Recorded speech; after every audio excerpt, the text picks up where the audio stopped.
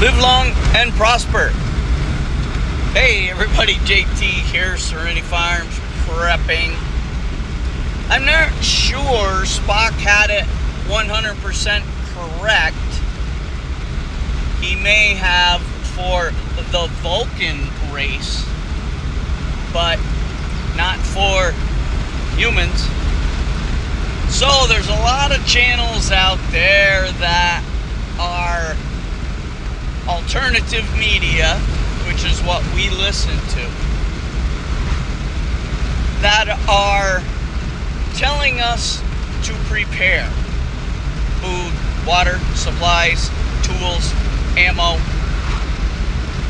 gold, silver, seeds for a post collapse survival. Now, none of us can be sure what exactly is going to go down, except I think with 100% certainty, we are going to have a dollar collapse and the United States is going to go into a severe, severe depression. Those numbers simply cannot be denied. No one is buying U.S. debt. And the illegal Fed is currently printing more useless money to buy their own debt to keep the Ponzi scheme illusion alive. We all know how this ends. All through history, there has never, did I say never, been a country that was printing a trillion dollars every hundred days that did not collapse. And the collapse was apocalyptic. We're on that path. Combine 100 plus nations dumping the US dollar and joining BRICS with the political deep state uniparty scum in this country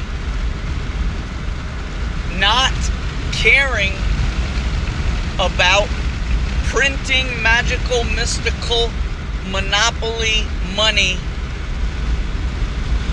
to buy off, pay off, pad their pockets, whatever.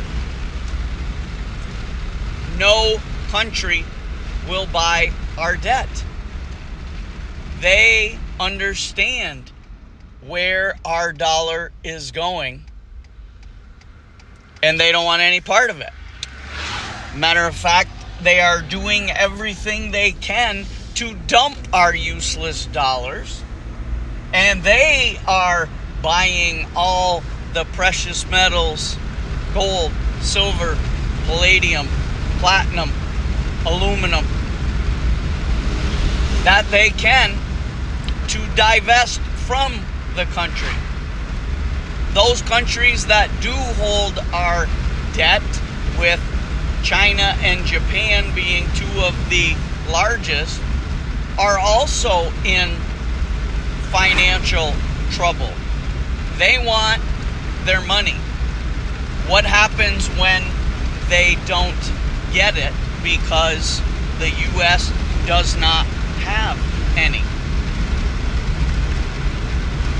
So we know the financial collapse is inevitable. Anyone with half a brain can see it. That doesn't mean they're acting on it. So when this collapse happens, either right before or right after, we could very likely be invaded We're already being invaded. The UN has strategically located all the illegal invading military age men all across the United States. This is in concert with the WEF, the WHO, the deep state, the Democrats, and the RINO uniparty political scum. We are being set up for a takeover. Now, will that takeover be peaceful? I'd like to think not. I'd like to think it doesn't happen at all, but I'd like to think that Americans won't go down without a fight. I have yet to see a lot of evidence to give me any faith on that.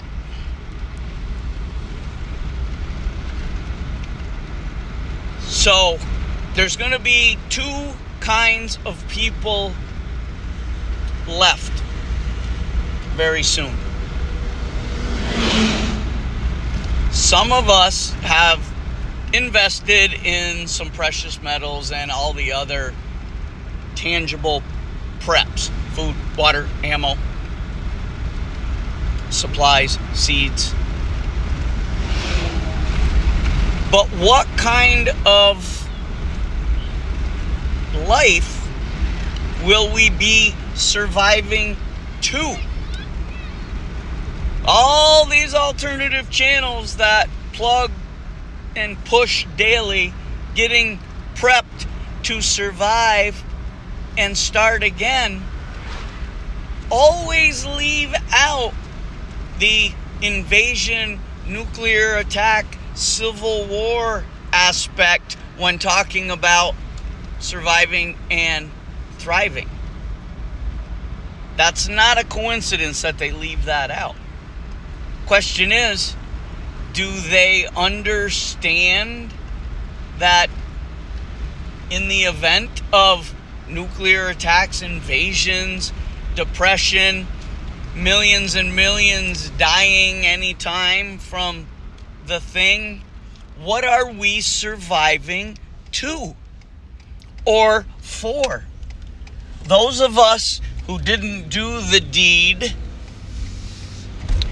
and don't vaporize in a potential nuclear attack or get killed fighting off illegal invaders are still going to be living in an occupied nation.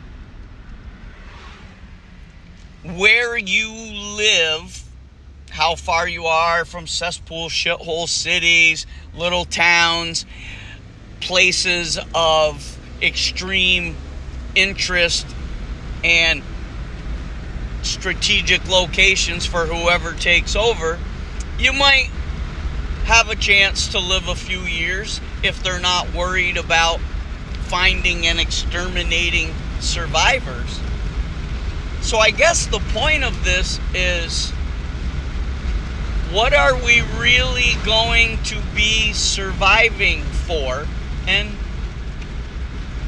two, some people would say nothing.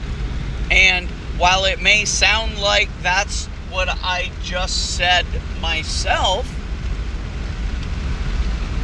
I have an insatiable will to live. It is being driven by the fact I don't want to die, but revenge. I'm not gonna lie.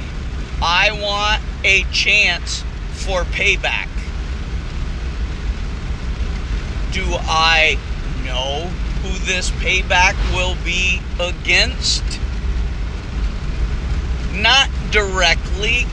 I work on that every day. Do I have a set number where I say, okay, I've got my quota. Whatever happens, happens. No.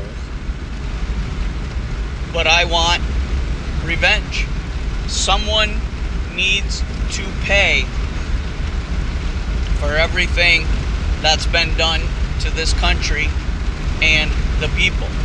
I would think by now that the masses who did the deed that are seeing and hearing all evidence and proof that we tried to warn them about five years ago, you would they would be out of their freaking minds creating havoc and wanting to make sure these people pay for what they did to them or they did to themselves.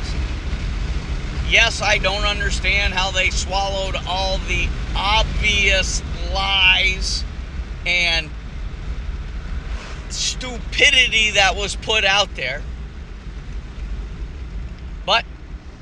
They can't get that back now, can they? All the folks that have had their DNA altered,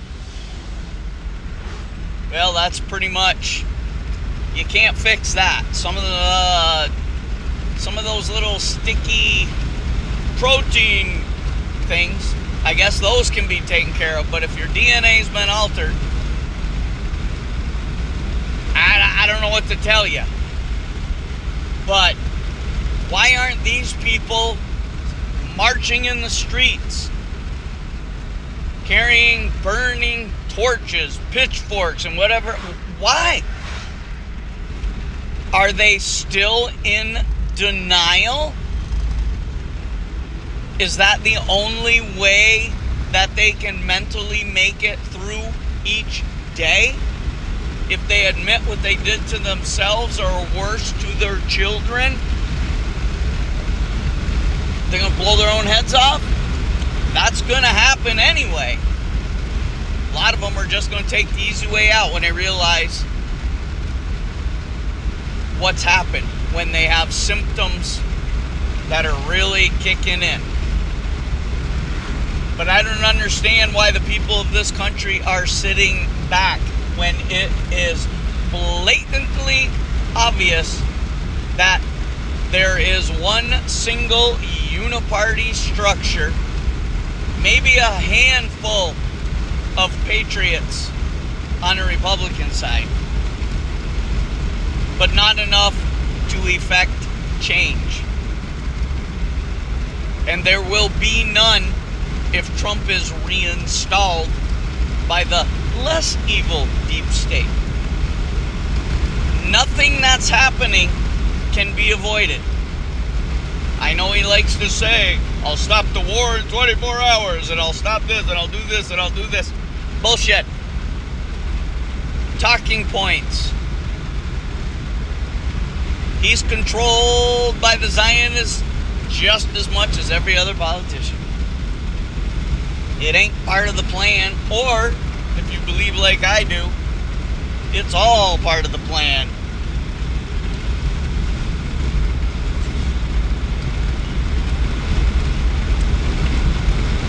I don't know what to tell you.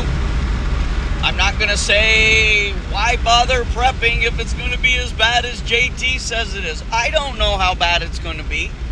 I prepare for the worst case scenario, like we all should be. And then anything less will seem easier.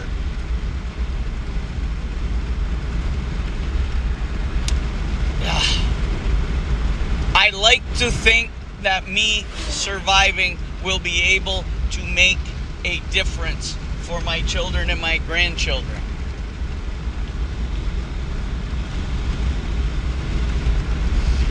I don't know that that's true, but it has to keep me going.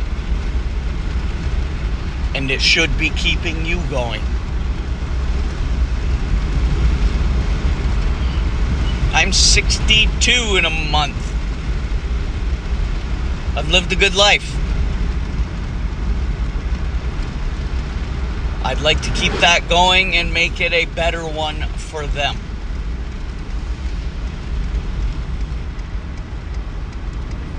About you? JT, signing off.